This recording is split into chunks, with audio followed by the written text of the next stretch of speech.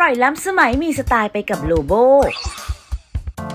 วันนี้เราจะชวนคุณผู้ชมมาทำยำมะม่วงส่งเครื่องสูตรโบราณเมนูใหม่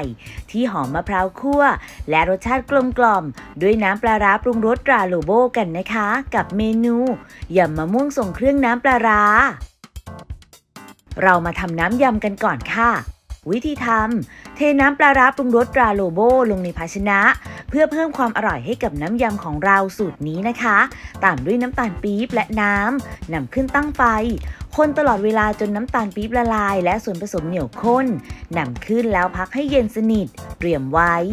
จากนั้นเรามาทำยำมะม่วงทรงเครื่องน้ำปลาร้ากันต่อค่ะ วิธีทำใส่น้ำยำลงในภาชนะตามด้วยพริกขี้หนูป่นและถั่วลิสงคั่วบุบหยาบคนให้เข้ากัน ใส่มะม่วงเปรี้ยวดิบหั่นเส้น หอมแดงหั่นบาง มะพร้าวคั่ว กุ้งแห้งเนื้อคั่วตำฟู และพริกขี้หนูแดงหั่นแฉลบเคล้าให้เข้ากัน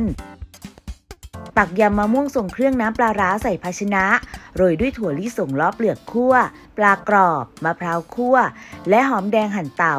ตกแต่งด้วยช่อผักชี พร้อมเสิร์ฟค่ะกับเมนูยำมะม่วงส่งเครื่องน้ำปลาร้า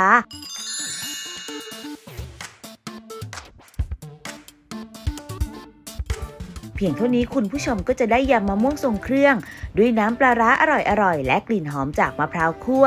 รสชาตินุ่มละมุนลิ้น แค่มีโลโบผู้รู้จริงในการปรุงอาหาร ก็ทำให้เมนูธรรมดาธรรมดา อร่อยล้ำสมัยมีสไตล์แล้วละค่ะ